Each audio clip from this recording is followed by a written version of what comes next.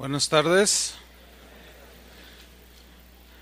Le voy a pedir que abra su Biblia en primera carta a los tesalonicenses capítulo 5, versículo 18.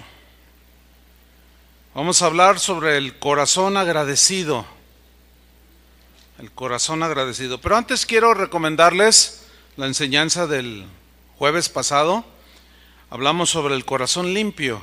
Es una enseñanza que sin duda puede edificar sus vidas. Si usted no pudo venir a asistir el jueves, eh, en la página de Facebook o en la página de Casa de Oración, ahí puede usted escucharlo, descargarlo, como usted guste. Es gratuito. Entonces vamos a hablar sobre el corazón agradecido. ¿Están listos? Bien, voy a leer 1 Tesalonicenses capítulo 5, versículo 18. Dice así. Dad gracias en todo, porque esta es la voluntad de Dios para con vosotros en Cristo Jesús. El corazón agradecido, hermanos, es aquel que reconoce las bondades de Dios. El corazón agradecido es el corazón estimado por Dios. Alta estima tiene Dios al, corazón o al creyente de, de corazón agradecido. Porque el corazón agradecido entra en una dimensión más profunda con Dios por la simple y sencilla razón de que el corazón agradecido reconoce que Dios es soberano. ¿Qué significa? Que cualquier cosa que suceda, el cristiano está agradecido porque sabe que Dios tiene en sus manos su vida y que todas las cosas ayudan para bien. Bueno, esa es una dimensión que no todos los creyentes han logrado entrar. Sin embargo, pues en esta enseñanza vamos a, compartir con ustedes cómo lo que es un corazón agradecido, cómo desarrollarlo y cómo permanecer en un corazón agradecido. Eh, no, no, tiene que buscar esta escritura, acuérdense que cuando yo les diga búsquenlo, entonces la buscan. Pero en segunda de Crónicas 5.13, 5.13 y 14, allí nos describe cómo los que tienen corazón agradecido entran en una dimensión más profunda con Dios.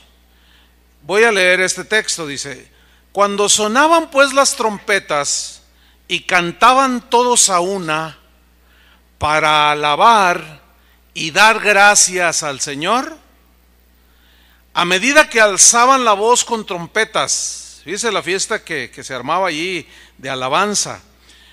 Címbalos y muchos otros instrumentos de música y alababan al Señor y decían, porque Él es bueno, porque su misericordia es para siempre. Dice que entonces la casa se llenó de una nube, la casa del Señor.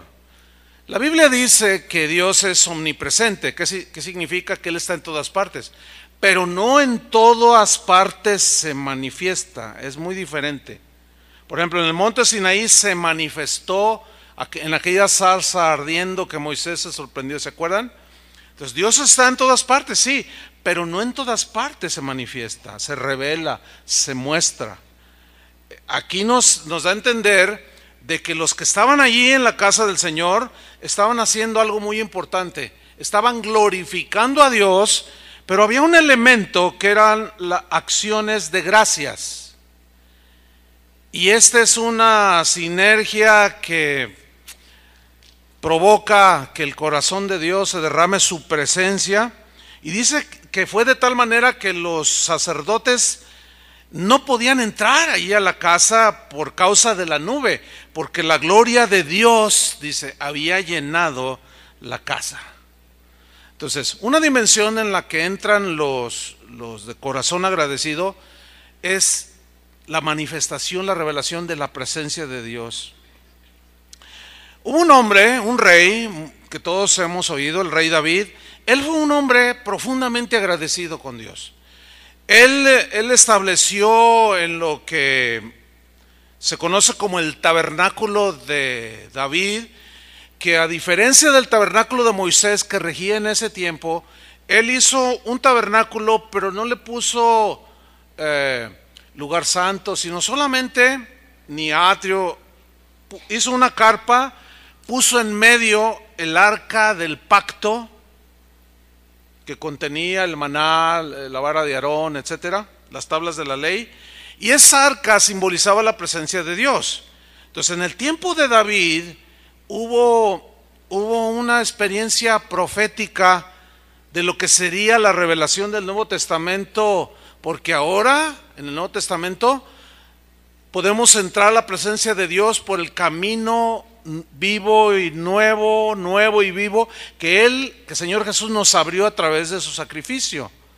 Ya no hay restricciones, solamente ustedes saben que en el tabernáculo de Moisés el sumo sacerdote podía entrar y adorar, nada más Él, y una vez al año. Entonces David hizo algo adelantado a su época. David, aparte de ser un rey, también es considerado como un profeta. Entonces él en la adoración al Señor, ahí en el tabernáculo que él formó, estableció un ministerio bien tremendo. Un ministerio de, alabanza y de adoración de 24 horas, los siete días de la semana. Eso hablaba del corazón de David. Era un corazón de adorador genuino. Y en el Salmo 100, por ejemplo, en el versículo 4, David dice, entrad por sus puertas con acción de gracias, por sus atrios con alabanza, alabadle, bendecid su nombre. Entonces, las acciones de gracias a Dios entraban en el panorama de, de, este deseo que David tenía de que Dios fuese adorado, pero incluía acciones de gracias. Y el corazón que David tenía era un corazón profundamente agradecido porque recibió de Dios muchas bendiciones, recibió eh, familia, recibió Espíritu Santo, recibió perdón cuando pecó. Entonces él era un hombre profundamente agradecido. Pasaron los siglos de esto que David había establecido, pasaron casi 600 años. Y llegamos al tiempo de Nemías. Nemías fue el, restaurador de, los, de las murallas de Jerusalén que habían sido derribadas por los enemigos. Y él restauró las murallas de Jerusalén. Pero hizo algo muy interesante. Les voy a leer Nemías 12:46. Porque dijo, dijo eh, porque desde el tiempo de David, y habían pasado casi 600 años. Y Asaf, ya de antiguo, dice,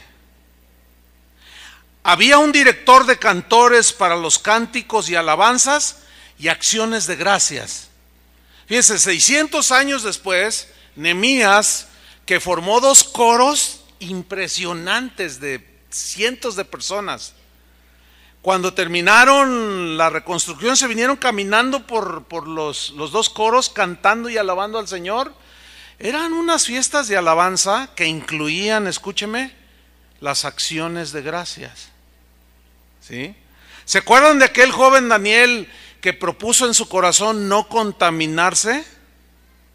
Bueno, Daniel fue otro hombre profundamente agradecido con Dios. Y esto a pesar de que estaba en una situación y en condiciones eh, de, estrechez, estaba cautivo. ¿Se acuerdan que estaba allí delante del rey Nabucodonosor? Sin embargo, fíjense lo que dijo en el capítulo 2, versículo 23. Dijo así, a ti, oh Dios de mis padres, fíjense qué bonita oración. A ti, oh Dios de mis padres, te doy gracias y te alabo. Ahí está otra vez. Un hombre con corazón agradecido. Te doy gracias y te alabo, porque me has dado sabiduría. Está agradeciendo por las cosas recibidas. Me has dado sabiduría y fuerza. Y ahora me has revelado lo que te pedimos, pues nos has dado a conocer el asunto del rey. ¿Se acuerdan todo aquello que ya hablamos? Que pasó con el rey Nabucodonosor, cómo Dios se lo reveló a él y le da gracias. Entonces, el corazón agradecido es un corazón que está en constante gratitud hacia Dios porque no hay día que no recibamos sus beneficios. ¿Cuántos dicen amén? Diario, todos los días. Pero desgraciadamente no todos los seres humanos son agradecidos. Abran su Biblia ahí en, el capítulo 1 de Romanos, versículo 18. Vamos a aprender algunas cosas aquí muy importantes. Vamos a ver algunas cosas trágicas del, corazón del hombre, pero vamos a aprender. Romanos 1.18 dice así, porque la ira de Dios, el enojo de Dios, el juicio de Dios significa aquí, se revela, se muestra desde el cielo contra toda impiedad e injusticia. Impiedad significa hechos malos, ¿sí? Conductas reprobadas por Dios. Dios se revela en el, desde el cielo contra toda impiedad e injusticia de los hombres, que detienen con injusticia la verdad, que bloquean la verdad, que rechazan la verdad, que se burlan de la verdad Dios llegó un momento en que les envía un juicio. Versículo 19. Porque lo que de Dios se conoce les es manifiesto. O sea, lo que de Dios se conoce se refiere a las cosas creadas. Les es manifiesto a todo ser humano. Aquí manifiesto o manifestar significa revelar, mostrar. O sea, lo que de Dios se conoce les ha sido mostrado ¿Cómo? Vamos a seguir leyendo. Pues Dios se lo manifestó, se lo reveló al ser humano. ¿Cómo? Versículo 20. Porque las cosas invisibles de Él, hay muchas cosas, Dios mismo es invisible, pero aquí menciona dos, su eterno poder y deidad, síganme con atención, se hace, o sea, las cosas invisibles de pronto se ven, ¿cómo? Aquí dice, se hacen claramente visibles desde la creación del mundo. Aquí está hablando de las obras de la creación, de las obras maravillosas de la creación. Siendo entendidas estas manifestaciones, estas cosas reveladas, siendo entendidas por medio de las cosas hechas, de modo que no tienen excusa. Es decir, que las obras de la creación dan testimonio del poder de Dios hay una historia que relaciona a un cristiano de hace ya algunos siglos. Él fue un filósofo, matemático, eh, astrónomo, o sea, era, era toda una eminencia, pero sobre todo resaltaba su gran devoción a Jesucristo. Él era un creyente, un cristiano. Se llamó Blaise Pascal. Hay una historia que narra de que en una ocasión él, en sus estudios de astronomía, hizo una especie de maqueta representando eh, el sistema solar.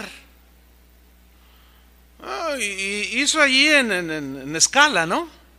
Y dice que eh, en eso llegó un amigo de él, que también era un científico, pero era ateo. Entonces Blaise Pascal lo pasó y cuando ve a aquel hombre aquella cosa que estaba bonita, dijo, wow, dice, pero qué bueno que está eso. Qué, qué ingenio, qué, qué bien hecho está. ¿Quién lo hizo? Le pregunta a Blaise Pascal. Y Blaise Pascal le responde, nadie. ¿Cómo nadie? No, se hizo solo. Y allí lo evidenció al supuesto ateo, ¿verdad?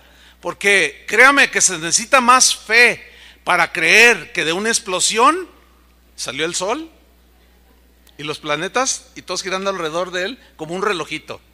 Y la Tierra girando alrededor del sol en 365 días y en 24 horas da la, también su, su giro y se forma el día y todo salió de una explosión. Créame que los ateos tienen más fe que nosotros.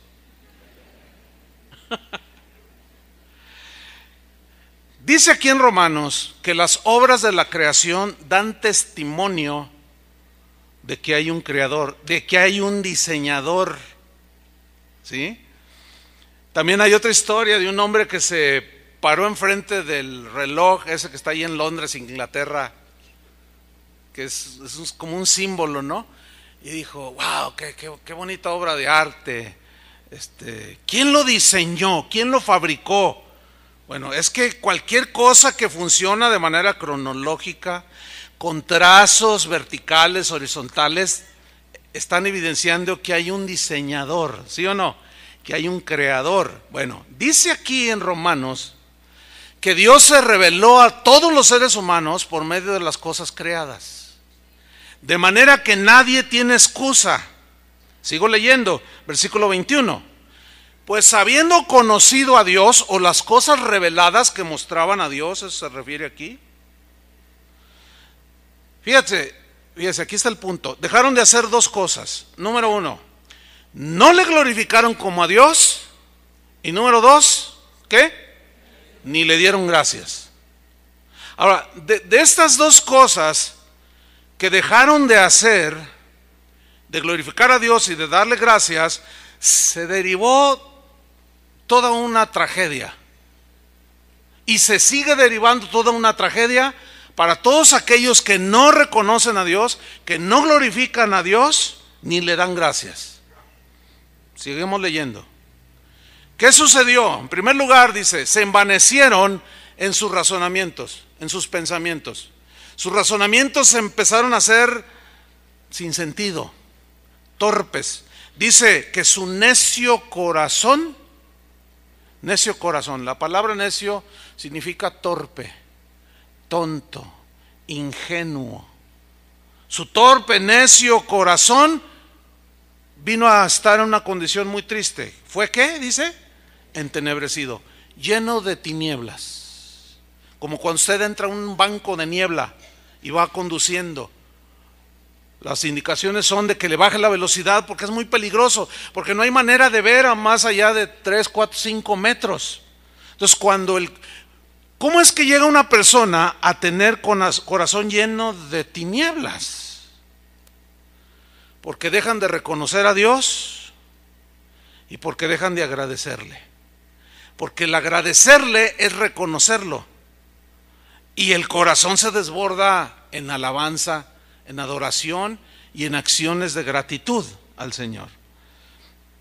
¿Qué pasó aquí? El egoísmo, el orgullo no les permitió reconocer a Dios, al Dios creador, y tampoco lo reconocieron en sus vidas. No le alabaron, no le dieron gracias. ¿Por qué? Y sus razonamientos se empezaron a, llenar de tinieblas. No, lo que he logrado es por mi inteligencia. Lo que yo tengo es por mi esfuerzo. Lo que yo es mi, mi, mi, mi egoísmo, sí, el orgullo, la soberbia. Y el orgulloso y el soberbio, Dios lo resiste. Porque el orgulloso no reconoce que Dios es el dador de la vida y de todo lo demás. ¿Sí o no? Entonces, ¿cómo le va a agradecer? El problema es que estando en semejante condición, la degradación se va haciendo cada vez más notoria. Ahora en el versículo 22, si va conmigo, dice, profesando ser sabios, o sea, creyéndose muy sabios, se hicieron necios. Necios, ya dije, se puede traducir como torpes, inútiles, tontos. Y hay una, hay una traducción que también habla de sin cerebro, o sea que no lo pusieron a funcionar, no razonaron siquiera pudiéndolo hacer. Se hicieron necios, se creyeron muy sabios y sus pensamientos rayaban en la, necedad y en la tontería. Ahora bien, a partir del versículo 23, de manera muy, muy clara, el apóstol San Pablo nos empieza a describir las consecuencias que vienen por no glorificar a Dios y por no reconocer a Dios y por no tener, por no darle gracias a Dios. Dice el versículo 23.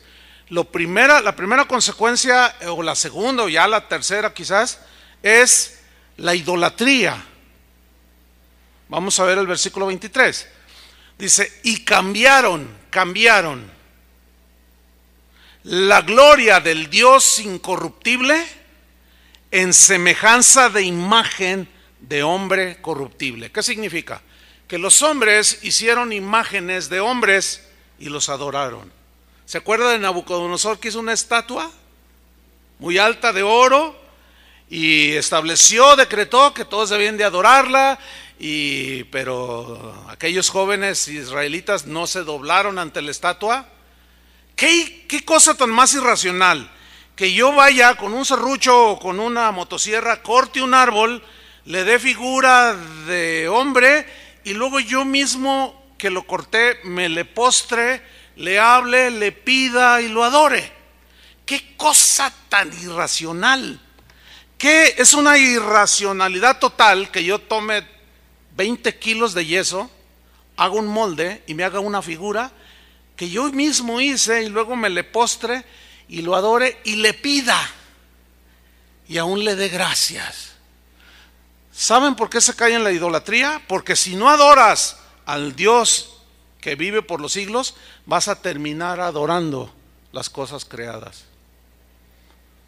Iglesia, que no adora a Dios de corazón sincero va a terminar adorando otras cosas. Y hoy lo vemos en el Evangelio de, estos tiempos. Gente desbordada adorando a sus ídolos, a sus cantantes favoritos, a sus predicadores favoritos. La gente ya no se reúne para, fíjense, hoy hasta cobran por entrar a adorar a Dios. ¡Qué aberración! Todo eso es producto de que de no darle gloria a Dios con corazón genuino. Pero todavía no, no se quedaron ahí, se, se, sigue degradando el ser humano. Dice que cambiaron la gloria del Dios incorruptible en semejanza de hombre corruptible y luego añade de aves, de cuadrúpedos y de reptiles.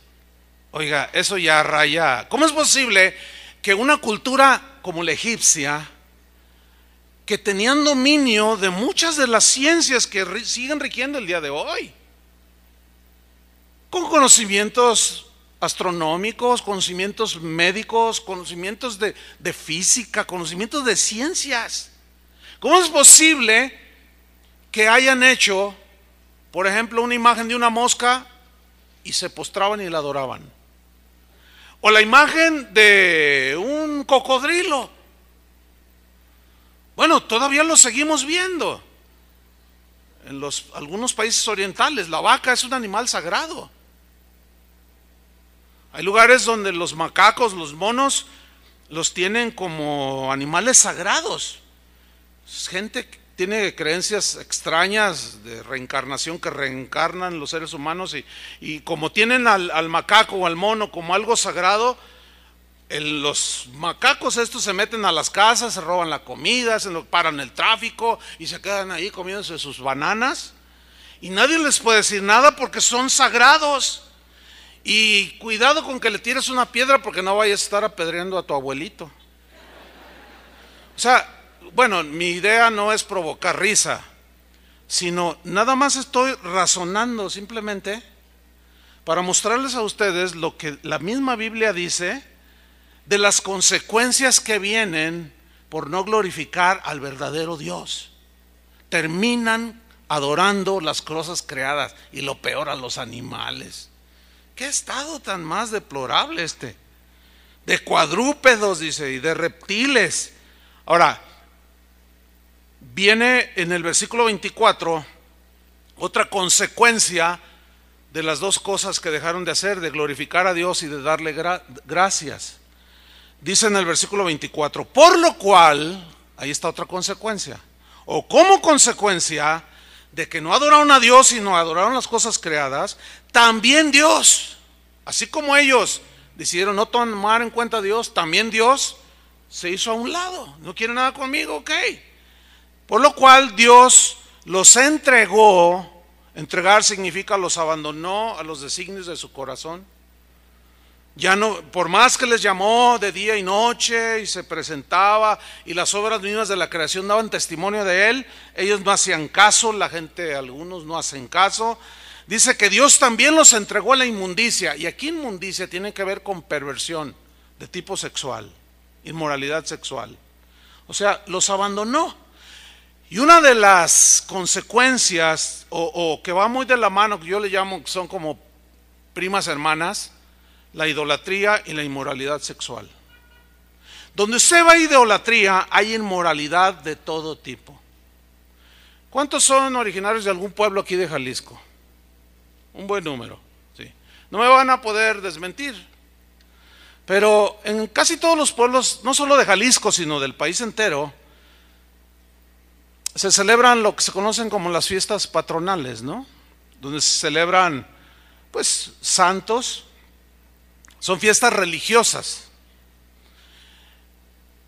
Y no me vaya a decir que en esas fiestas religiosas se, promueve la santidad, se promueve la verdad, se promueve la justicia. ¿Están de acuerdo en que no es así? No, todo el pueblo es una cantina. Nada más estoy argumentando para, para aclararles un poco, ilustrando lo que, lo que Pablo está diciendo aquí. Entonces, donde, donde le entra desde el presidente municipal hasta el párroco y hay una borrachera impresionante, no me diga que no va a haber actos inmorales. Que probablemente algunos de los que están aquí hasta participaron. Eso fue en su vida pasada. Ahora, ¿por qué se dan ese tipo de manifestaciones de tipo religioso que terminan en la idolatría y en la inmundicia? ¿Por qué creen? porque no toman en cuenta al Dios creador, ni le dan gracias a Él. Hacen sus ídolos, se postran ante esos mismos ídolos, los alaban y les dan gracias a los ídolos. Terminan en la inmoralidad sexual. Y de ahí, un montón de jovencitas embarazadas, montón de manifestaciones pecaminosas de todo tipo, un degenere total. No me diga que los carnavales son un dechado de santidad. Nada que ver. Todo de qué es producto de la idolatría. Y Dios los abandona, los entrega a la inmundicia. Sigo leyendo en el versículo 24. En las concupiscencias de sus corazones. Concupiscencia significa pasiones desordenadas, pasiones pecaminosas como los celos, la envidia, la borrachera, el adulterio, la fornicación, la maledicencia. Esas son las copicencias de los corazones. De modo, aquí está, mire, de modo, de manera que deshonraron entre sí sus propios cuerpos. Sígame con mucha atención, ¿eh? Deshonraron sus propios cuerpos. Versículo 25. Ya que cambiaron, cambiaron, distorsionaron, ¿qué? la verdad de Dios, de que Dios es el creador, de que Dios es el Dios que bendice a todo ser humano y hay que darle gracias. Cambiaron la verdad de Dios por la mentira. Aquí la mentira son, es la idolatría, honrando, dice. Y dando culto a las criaturas, llámese San, San Pedro, San Pablo, San Pillín, San lo que sea honrando y dando culto a las criaturas, porque San Pablo es una creación de Dios, también San Pedro, y también Santa, Santa no sé qué, y también la Virgen María, y también fulano, de, y el que sea, son creación de Dios. Entonces las consecuencias de no darle gloria al Dios creador son idolatría y perversión. Sigo leyendo.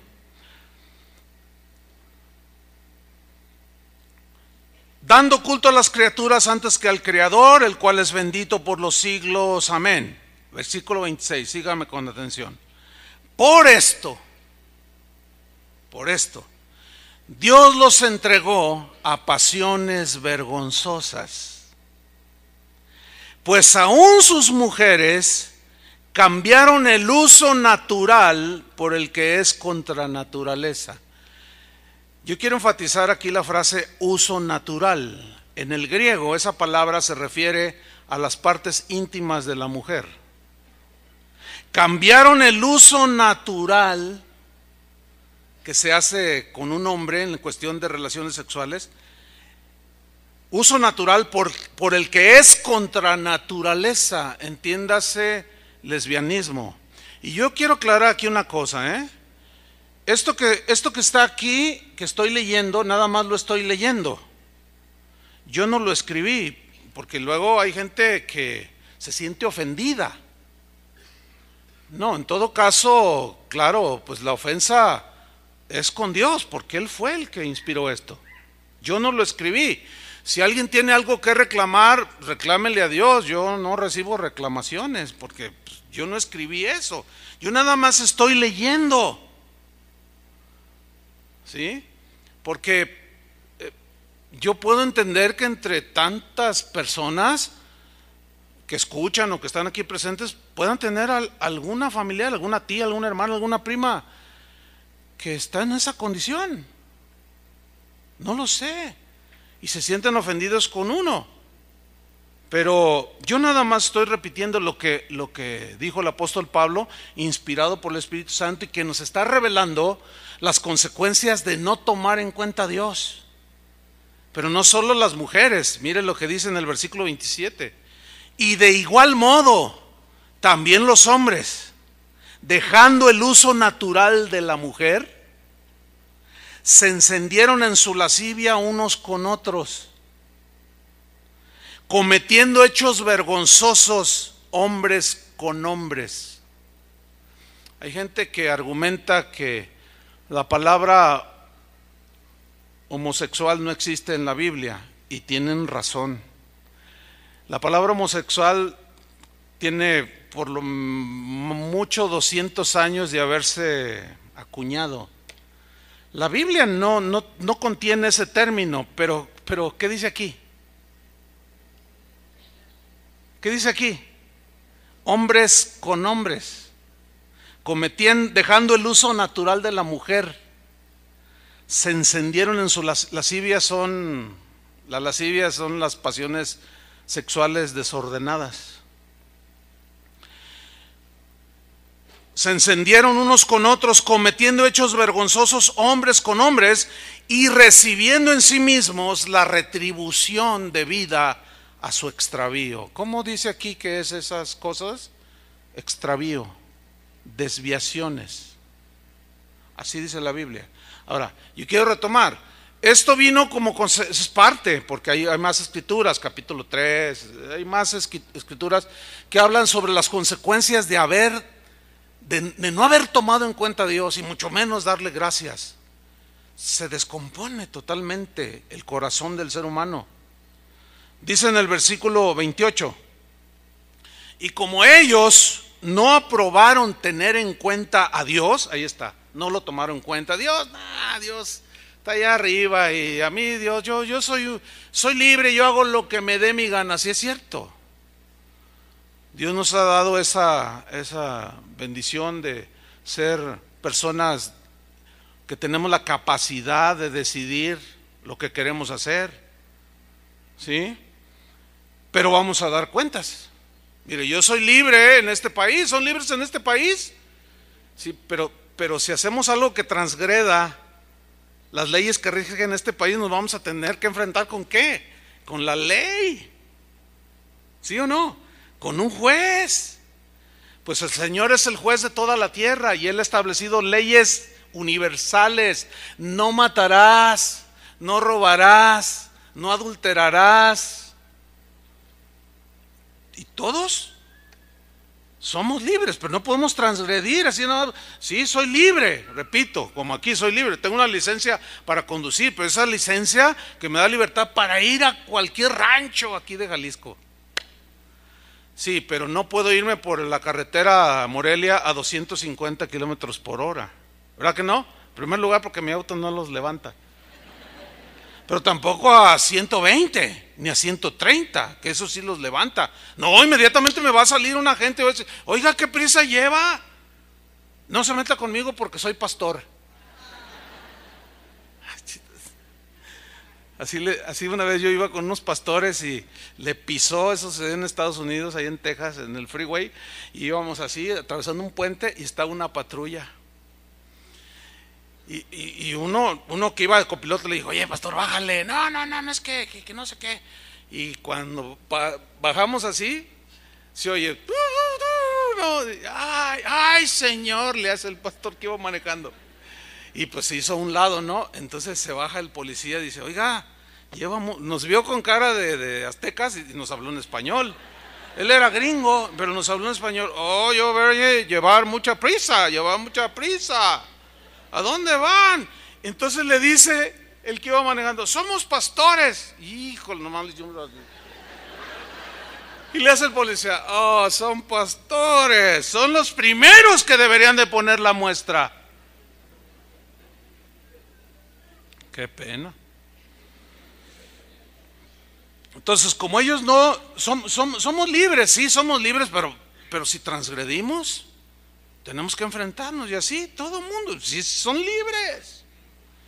Usted es libre para casarse 20 veces si quiere, o 30, para que digan que usted sí es libre. Y un día va a tener que dar cuentas con todos los hijos que dejó regados ahí, como Juan Charrasqueado. Juan Sin Miedo y todos esos, Pedro Infante y todos esos. No, no, no, no hay que confundir. Ahora, volviendo al tema. El apóstol San Pablo era un hombre profundamente agradecido.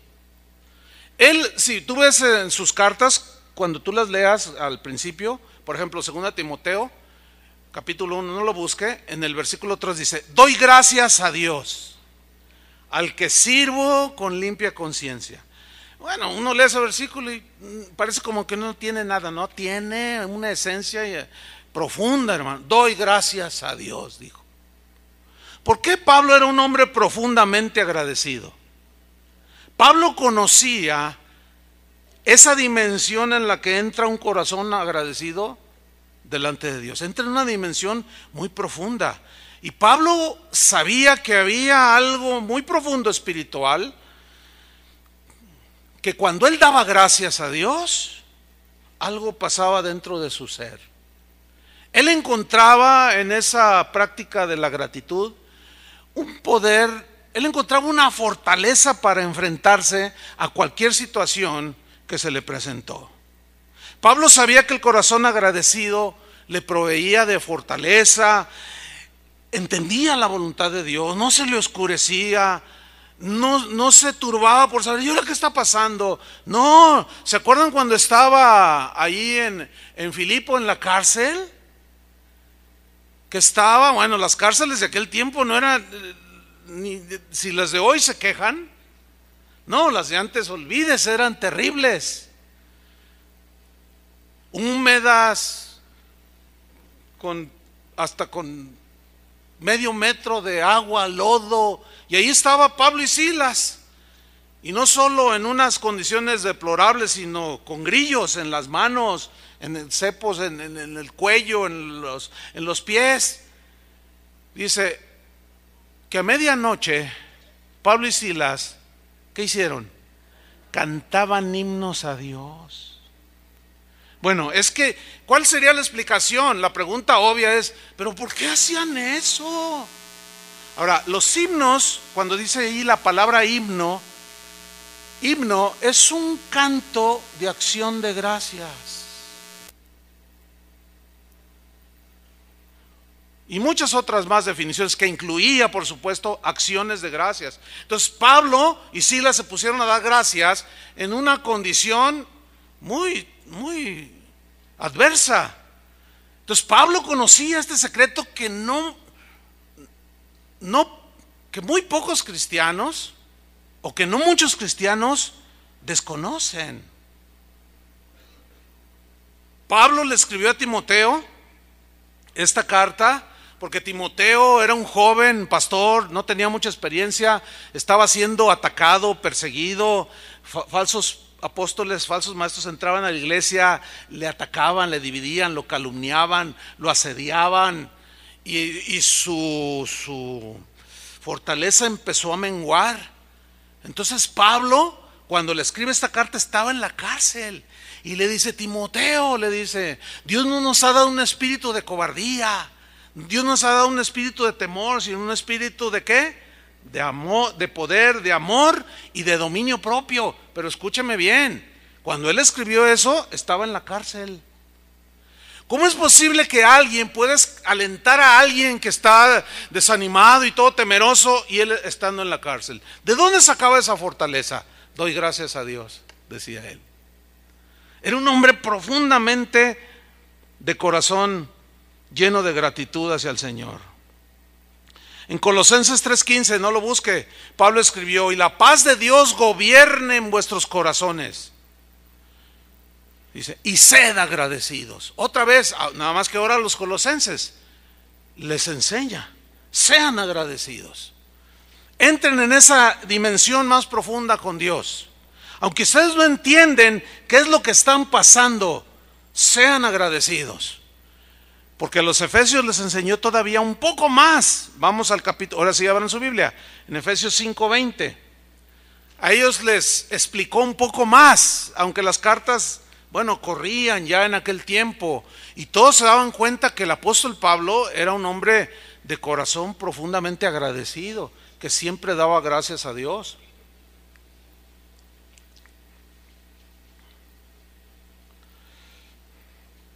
Efesios 5:20.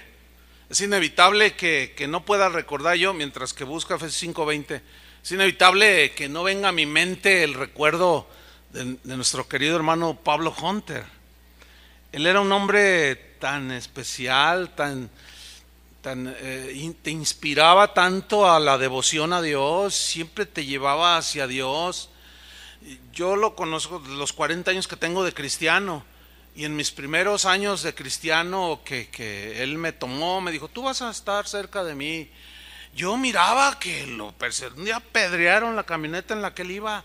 O sea, cosas que él vivía. Y yo le decía, hermano, ¿cómo está? Yo esperando que se soltara llorando y yo lo consolara, qué sé yo. Hermano, ¿cómo está? Y siempre, siempre hacía esto. oh hermano, yo doy gracias, decía. Y digo, gracias. Pues sí, a, mí me parecía una locura. Aunque ya era cristiano, todavía no entraba en esa dimensión, todavía no entraba en ese entendimiento que él ya había descubierto. Las acciones de gracias. Oh, hermano, me decía, dale gracias a Dios. Pero ¿cómo le voy a dar gracias a Dios en esto? Me robaron la camioneta. Hermano, dale gracias a Dios. Decía.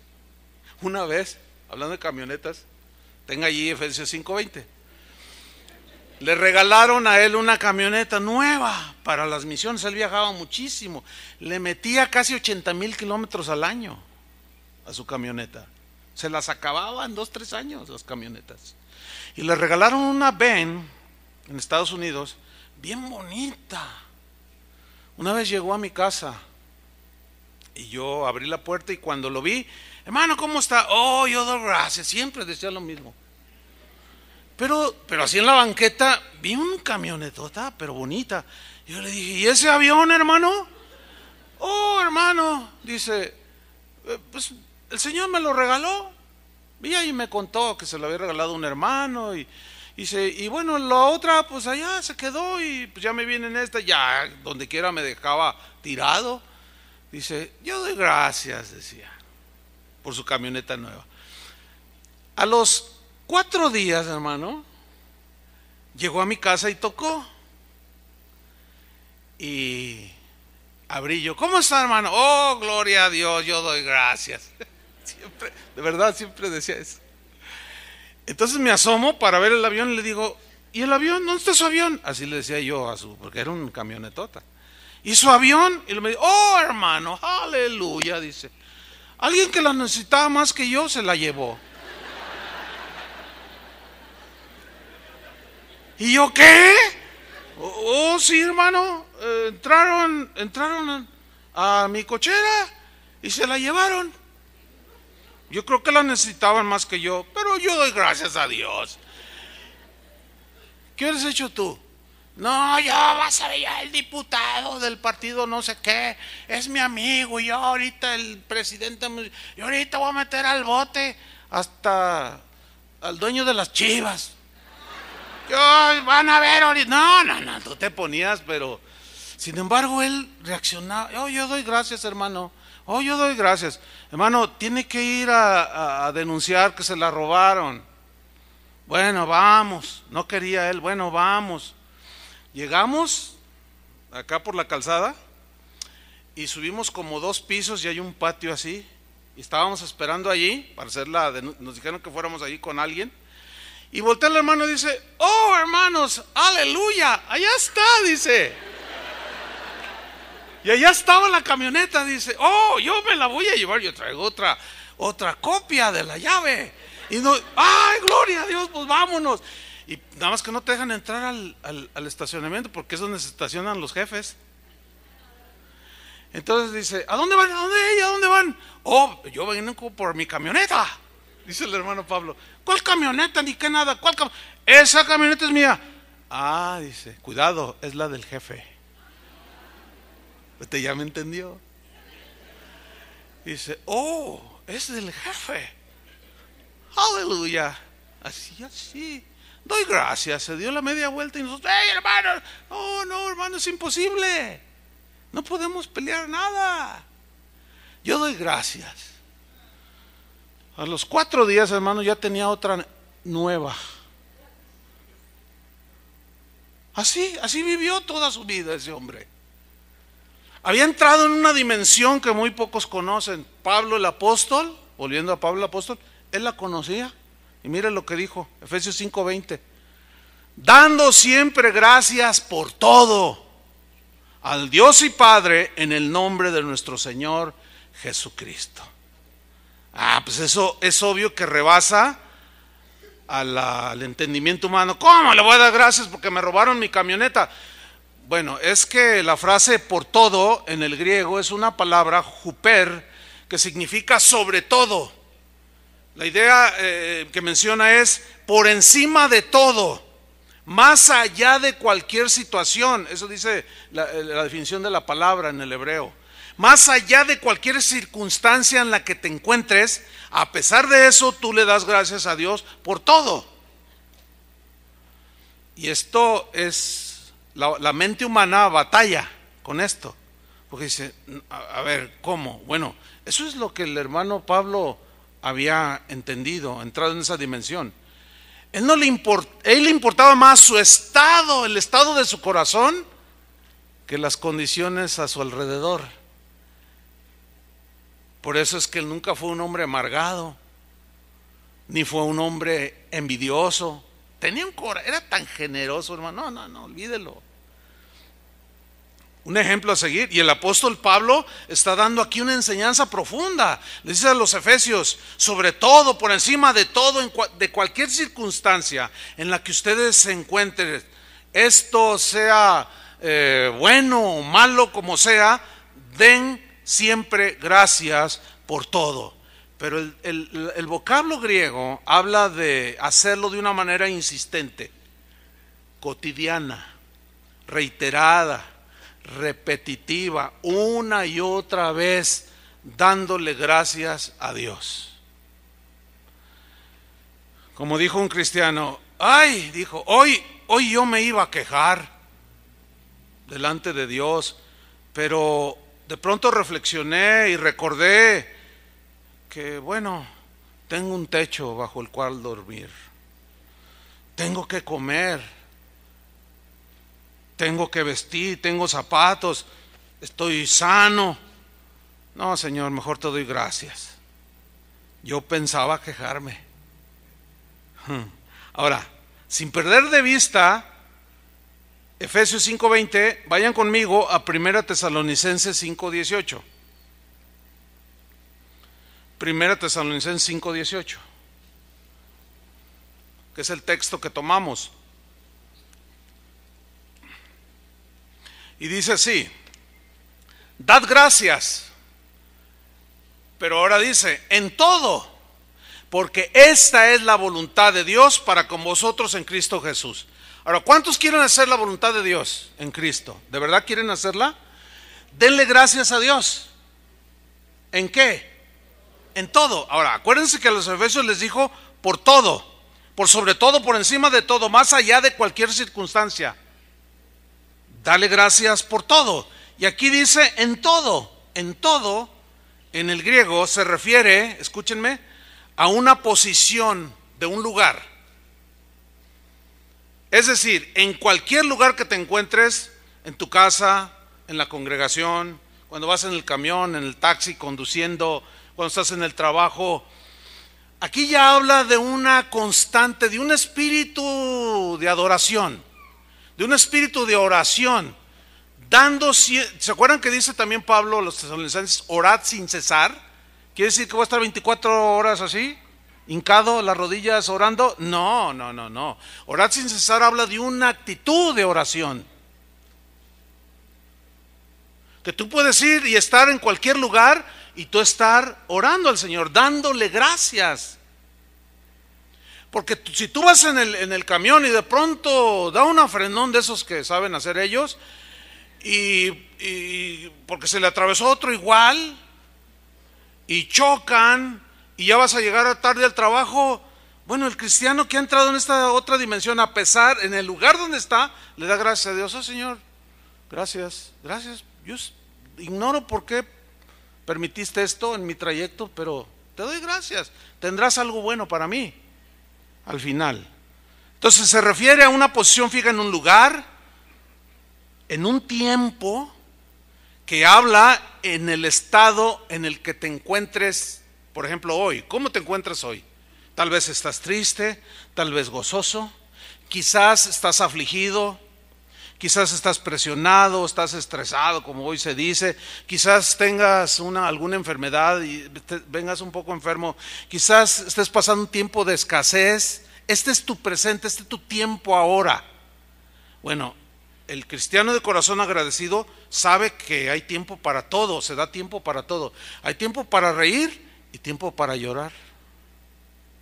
Tiempo para vivir, tiempo para morir. Tiempo para estar alegre, tiempo para estar triste.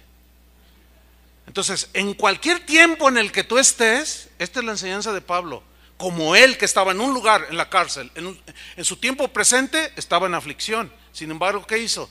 Cantó himnos a Dios, glorificó a Dios y le dio gracias. ¿Y qué hizo Dios? Obró a su favor. No vino un temblor tremendo y las cadenas de todos se soltaron. porque Dios se mostró, como en las crónicas que leímos, que se reveló ahí la presencia de Dios. ¿En quienes? En quienes daban acciones de gracias y alababan al Señor. Entonces, en todo se refiere a una posición en un lugar, tiempo o estado. El estado se refiere pues a la condición en la que estás también. Entonces, dale gracias a Dios. Siempre tendrá Él un propósito. Como oró también otro hermano, un señor anciano, dijo, gracias Dios, porque aunque no tengo mucho dinero y no tengo muchas cosas, tengo vida, tengo salud, tengo una familia hermosa, tengo mi esposa, tengo mis hijos, yo te doy gracias, Señor. Sí, quizás ahorita estoy pasando un tiempo difícil, no tengo trabajo, pero gracias, Señor, porque no nos has dejado. Eso es tan distinto, hermanos. Ya hablaremos en un tema específico sobre el corazón quejumbroso, que está ahí en la Biblia también. Aquellos que nada les parece, de todo se quejan, de todo lloran, de todo se enojan. ¿Con eso conoce gente así? Entonces, Pablo nos está revelando aquí cómo él obtenía su fortaleza, su fortaleza espiritual para soportar aflicciones y aún darse tiempo para fortalecer a otros. Él era un hombre de corazón profundamente agradecido. Porque él sabía que el corazón agradecido es de, del agrado de Dios. ¿Por qué? Porque el corazón agradecido demuestra humildad. Sí, Señor, yo sé, a lo mejor no entiende en mi mente, pero tú estarás haciendo algo bien. El corazón agradecido está demostrando entendimiento de que nada sucede si Dios no lo permite. Y si lo permite, el corazón agradecido sabe que Dios tiene propósitos y que a la postre lo usará para bien. Y es inevitable para mí no citar Romanos 8:28, que conocemos de memoria. ¿Qué dice Romanos 8:28? Una, dos, tres. Y sabemos que a los que aman a Dios, todas las cosas les ayudan para bien. Bueno, aquí hay varias cosas que quiero resaltar brevemente en Romanos 8:28. Empieza mencionando un verbo, que es el verbo saber, saber. El verbo saber aquí también se puede traducir por entender, Conocer. Entonces se puede leer. Y entendemos y conocemos que los que aman a Dios. Ahora bien, ¿cuál es, ¿qué es lo diferente a, a saber? Ignorar, ¿no? Ese sería lo contrario, ignorar. El problema entonces radica en que no todos saben este principio. O lo pueden saber así de manera teológica, pero no, no han entrado en la dimensión de la experiencia del versículo, que el versículo nos estaba mostrando. Y sabemos, dice Pablo, con una seguridad. Entonces, según Pablo, todo cristiano debe saber. No, no podemos ser ignorantes en este ni en los demás puntos, pero aquí Pablo dice, y sabemos, entendemos que a los que aman a Dios, yo les pregunto, ¿cuántos aman a Dios? Ah, fíjate, fíjate, hacia dónde estamos yendo, el mismo texto hasta dónde, hacia dónde nos está llevando. Sabemos, conocemos, entendemos. Los que amamos a Dios, lo entendemos. ¿Qué entendemos? Que todas las cosas que ayudan para bien. Mire, la frase todas las cosas en el griego implica cosas buenas y cosas malas. Tiempos buenos, tiempos malos. ¿Se acuerdan de José que hablamos de él? Cómo los hermanos lo golpearon, lo vendieron, fue a dar a la cárcel, eh, salió huyendo de aquella mujer mala, termina en la cárcel, pero Dios estaba detrás de todo eso. ¿Se acuerdan que Dios lo empujó, lo prosperó? Dios lo empujó hacia adelante. ¿Por qué? Porque Dios era el único que sabía que vendría la hambruna en la tierra donde vivían su padre y sus hermanos. Y cuando él se descubre ante sus hermanos siendo ya el, primer, el, gobernador de Egipto, o primer ministro de Egipto, cuando él se revela, los hermanos se se desconciertan y, les entra el temor y José los calma y dice, no, no se preocupen, Dios preparó todo. Si analizamos la vida de José como ya lo hemos hecho, pero hay un elemento allí, él nunca se quejó. No existe una sola queja allí. ¿Por qué? Porque él conocía la dimensión que conocía Daniel de la acción de gracias. ¿Sí? Él conocía la dimensión que conocía el apóstol Pablo, que conocía a David, que conocía al hermano Paul, Hunter. Y Dios quiere que entremos en esa dimensión de la gratitud constante, las 24 horas, como David en el tabernáculo, de manera constante. Entonces, todas las cosas, buenas o malas, tiempos buenos, situaciones buenas, situaciones malas, escasez, abundancia, todas las, cosas ayudan a bien. La palabra, el verbo ayudar allí, ayudan a bien, es una palabra griega, de, eh, sinergia, de donde se deriva sinergia, que es la conjunción de dos elementos. Se hace una sinergia. O sea, Dios, Dios tiene un propósito. Está tu condición, tu situación. Tú lo entiendes y se hace una sinergia y Dios obra para bien. Pablo decía, mis prisiones han redundado para beneficio y la proclamación del Evangelio. Estaba contento. Hágame usted el favor. Han redundado para la difusión del Evangelio. A lo que le interesaba era la difusión del Evangelio.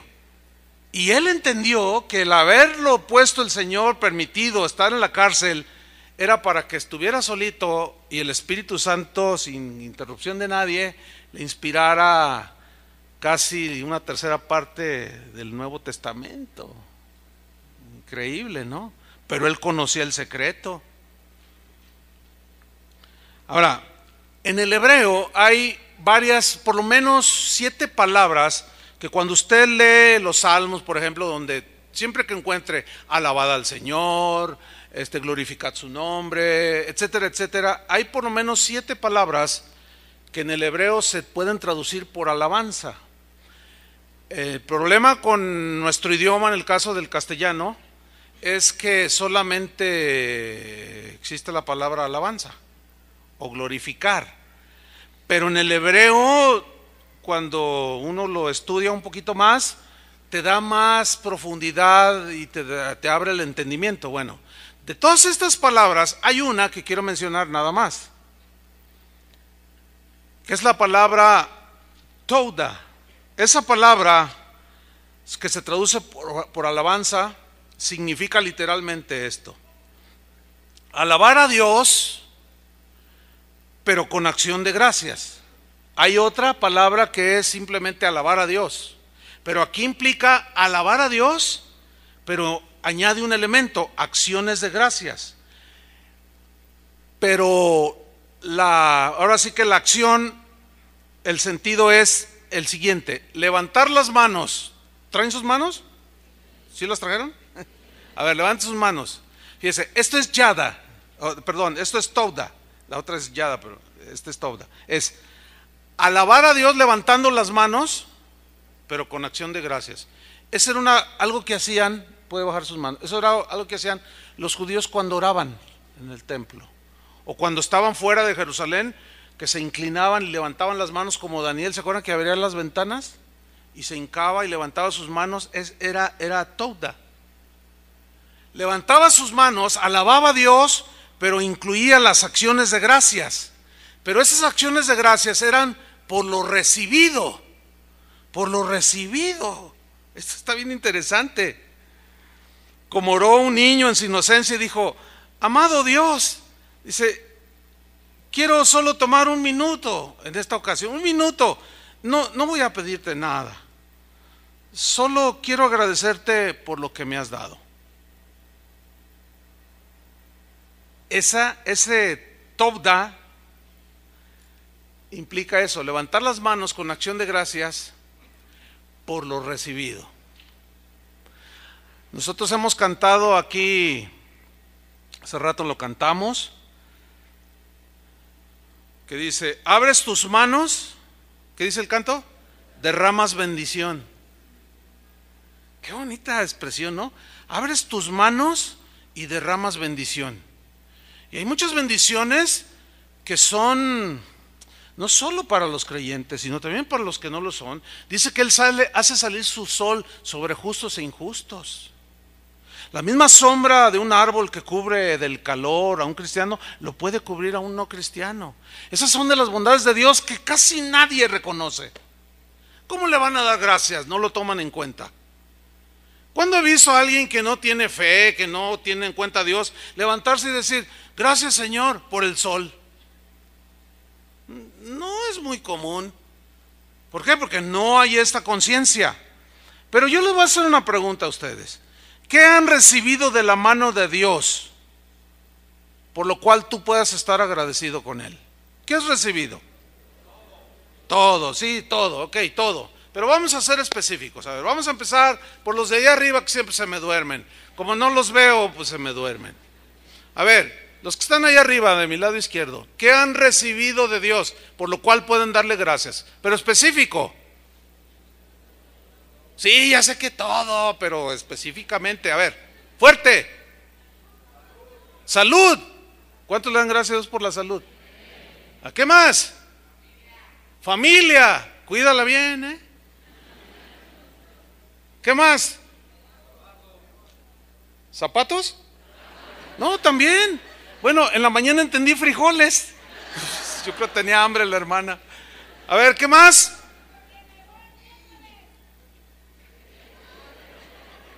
¿Qué dijo?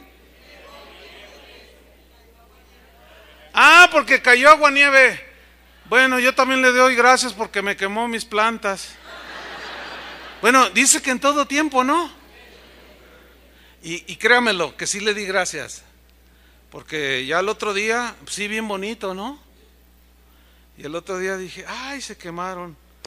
Ah, gracias, Señor, pues son tuyas, este, está bien, yo sé que, porque también el agua que cayó las va a hacer así. Gracias. A ver, los de aquí en medio, ¿algo por qué darle gracias a Dios que hayan recibido? Los nietos, dice. estás feliz con los nietos. ¿Qué más? La vida. ¿Qué más? ¿Qué dijo? No, no le hagan así. No, hablen, porque así se, se, no se oye, ¿verdad que no se oye bien? Así, porque si yo quito la mano así, fíjese cómo, a ver. ¿Otra vez?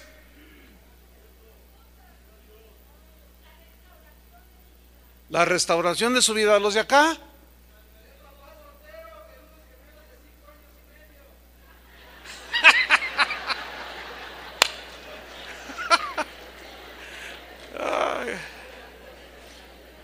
Bueno, a ver los de acá. Los de acá que siempre se torcen el cuello así, pobrecitos, y ahora salen así. Cuando se encuentra alguien ahí a la salida que van así, al lado, al lado izquierdo son los, al lado derecho son ellos. A ver, ¿qué, qué, qué han recibido por lo cual pueden darle gracias a Dios? ¿Eh? Restauración, ¿sí? ¿Qué más? La salvación, ¿qué más? Trabajo, sus hijos, la familia. A ver los de acá. Te sacó del alcoholismo. Imagínate, qué terrible es esa vida, ¿no? Diario podrías estar agradecido, ¿no es cierto? ¿Usted?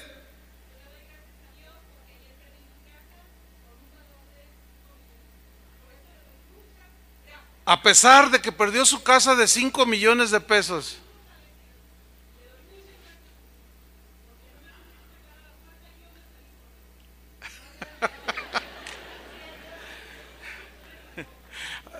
Si alguien aquí nos visita por primera vez va a decir,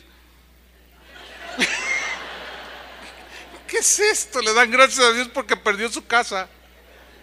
Le dan gracias a Dios porque lo sacó de la borrachera. Si a mí me gusta, dice alguien. Bueno, es que estamos entrando en, en otra dimensión. A ver, ¿qué más han recibido aquí? El perdón. Siempre te ha protegido. Estás aquí vivito y coleando. Nunca te has enfermado. No, casi no. No, sí es cierto. Yo lo conozco hace más de 30. Fue de los primeros cristianos aquí en casa de oración. ¿Cuántos tienes aquí? 33, sí, de los primeros convertidos. Y si es cierto, ¿eh? Que te ha guardado, pues aquí estás después de 33.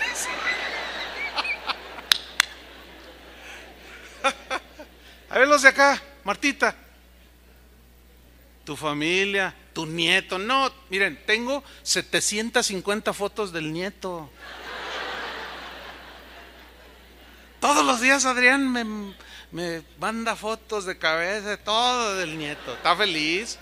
Bueno, algo por qué darle gracias a Dios. ¿Qué más? La vida,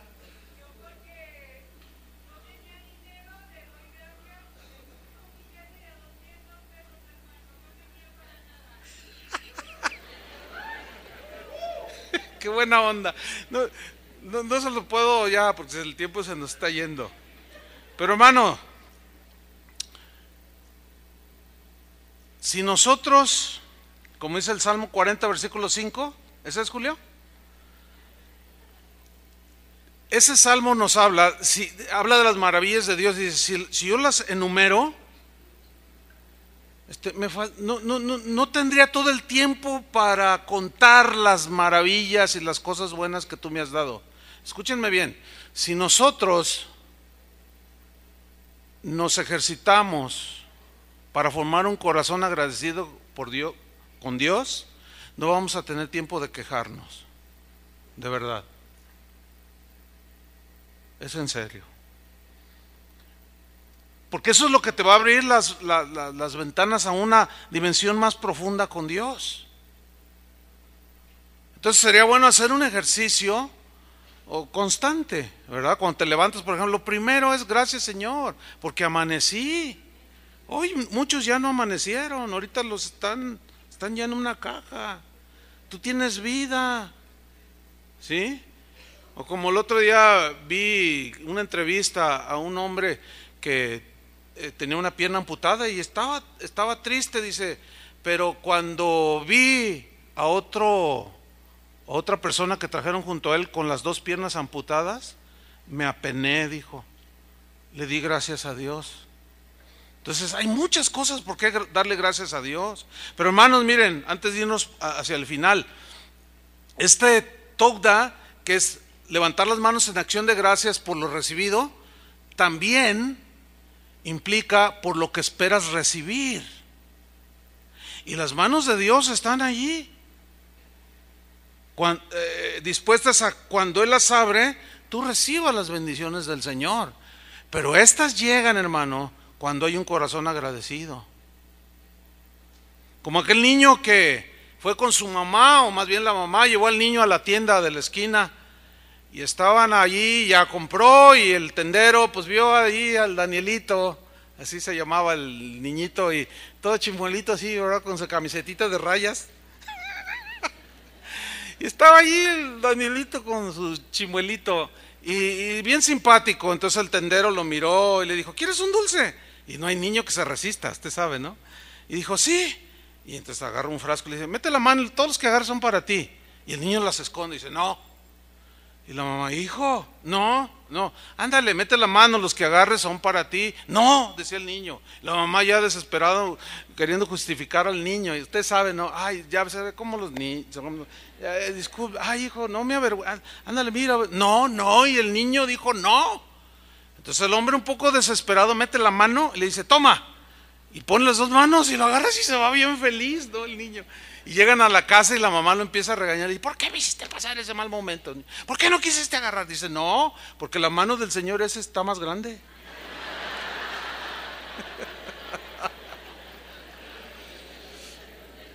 Hay muchos de ustedes que no dejan que Dios los bendiga. No. Muchos vienen buscando de la mano del hombre. ¿Se acuerdan de hace ocho días? Maldito el hombre que confía en el hombre. Y por eso no han entrado algunos, muchos cristianos, a esa nueva dimensión, porque están esperando que el hombre les dé. Pero si usted espera en el Señor, usted le da gracias a Él, ¿no es cierto? Pero es entonces acciones de gracias por lo recibido, pero también por lo que espera recibir. Eso implica el texto, la palabra. Por ejemplo, que yo puedo estar haciendo una oración. Las peticiones de oración diarios son un alterón así.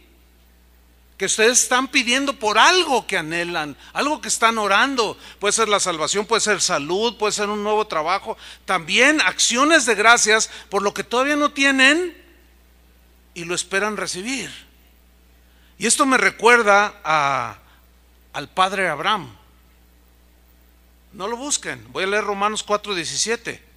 Dice, como está escrito, te he puesto por padre muchas gentes delante de Dios, a quien creyó, el cual da vida a los muertos y llama las cosas que no son como si fuesen, porque el cuerpo de Abraham era como casi, era ya casi como muerto, era de casi 100 años, dice.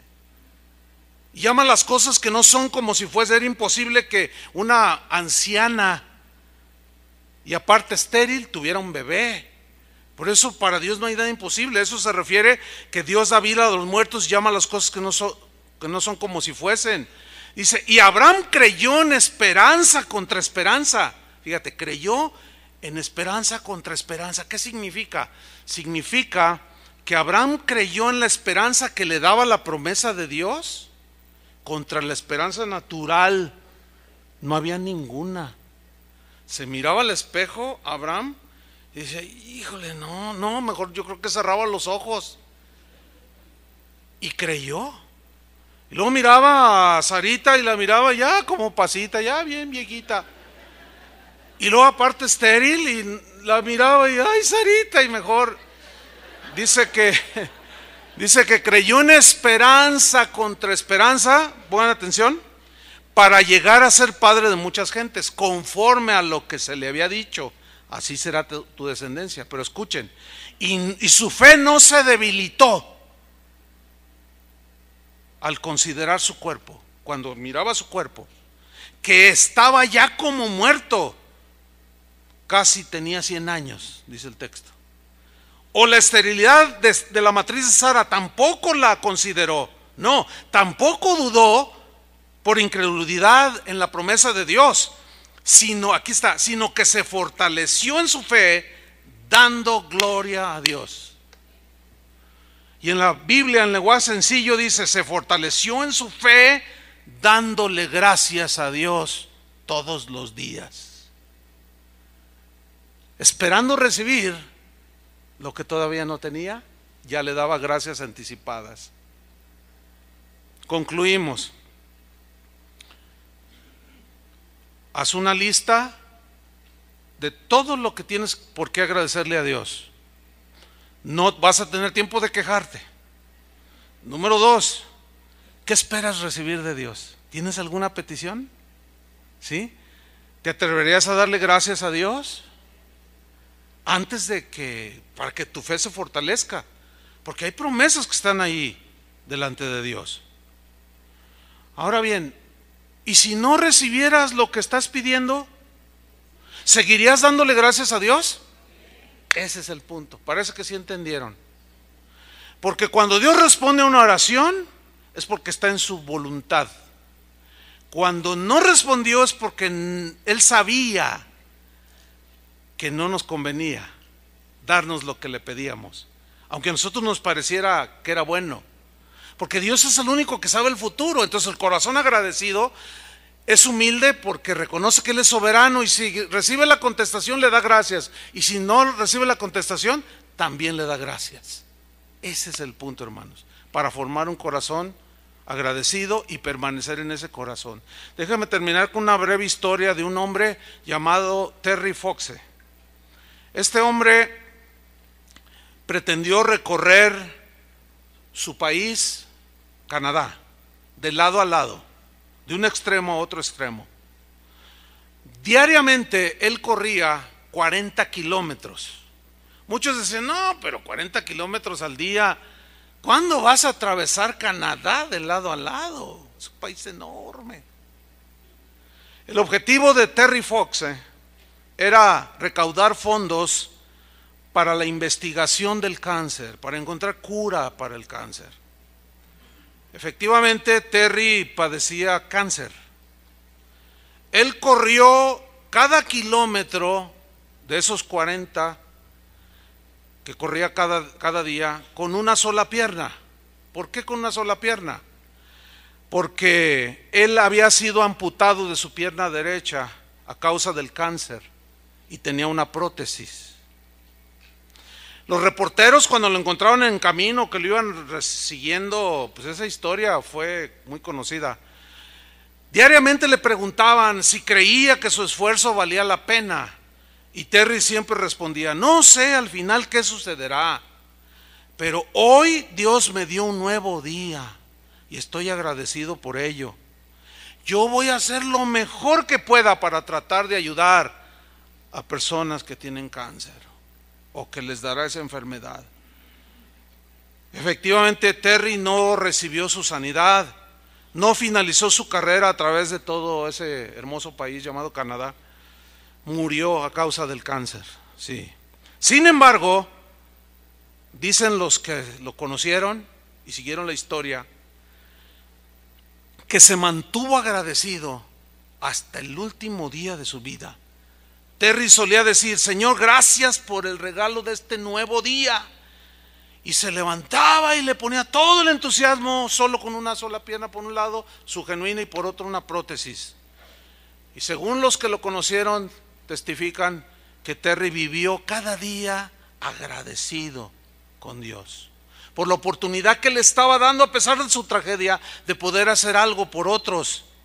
Terry vivió con su corazón agradecido hasta el último día de su vida y finalmente viajó a ese lugar donde el llanto y el dolor solo quedó en el recuerdo. Pero vivió en esta vida con un corazón agradecido, queriendo ayudar a otros. Esa es la profundidad a donde Dios nos quiere llevar. ¿Quiere darle gracias a Dios? Por lo recibido, póngase de pie. Póngase de pie. Levante sus manos a Dios. Vamos a hacer dos cosas. levante sus manos, dele gracias a Dios por lo recibido y a su mente empezará a venir su esposa, sus hijos, su trabajo. Dele gracias por eso que Dios ponga en este momento en su corazón, su trabajo, pero las cosas agradables y también las no agradables. Si usted tiene un vecino un poco difícil, mire, si usted empieza a orar por él y le dice, Señor, gracias, porque a la vez está tratando mi corazón y usted empieza a orar por este, esta persona, algo Dios va a hacer, algo va a suceder. Atrévase a darle gracias a Dios por todo. Así usted va a empezar a ejercitar un corazón agradecido. Están allí sus hijos, sus nietos, sus padres, sus hermanos, el Espíritu Santo, gracias por el Espíritu Santo que tenemos dentro de nosotros, por Jesús mismo, por la salvación, por el gozo, la paz, tantas cosas por las cuales nosotros podemos dar gracias. Gracias Señor. Tú miras el corazón de cada uno, la gratitud que en este momento es genuina, Señor. Estamos eternamente agradecidos contigo, Señor. Y como este hombre canadiense, a pesar de su tragedia, vivió siempre agradecido contigo, Señor. O como el mismo apóstol Pablo, en cualquier circunstancia daba gracias en todo y por todo. Así te damos gracias, Señor, aún por la, la situación, el tiempo, el lugar, la circunstancia que estemos viviendo, que no es muy agradable, que no es muy placentera, es, de aflicción, de dolor. Pero te damos gracias, Señor, sabiendo que si te amamos, tú lo encaminarás para bien, porque te amamos, Señor. Encamínalo bien como en la vida de José, de Daniel, de tantos hombres en tu palabra, Señor. Pero también levantamos nuestras manos en acción de gracias, alabándote, dándote gracias por lo que esperamos recibir. Hay familiares que todavía no te conocen, Señor. Ten misericordia del esposo, del hijo, de la hija. Alguna enfermedad que por muy difícil que sea, hay una esperanza todavía. Y Dios puede obrar en su soberanía. Y te damos gracias, Señor. Gracias por todo lo que tú estás repartiendo a a manos llenas. Tú abres tus manos, derramas bendición. Gracias te damos, Señor, por el aire, por tantas cosas, Señor. En el nombre de Cristo Jesús, te damos muchas gracias, eternamente agradecidos, Señor. Amén. Amén. Que Dios les bendiga, hermanos.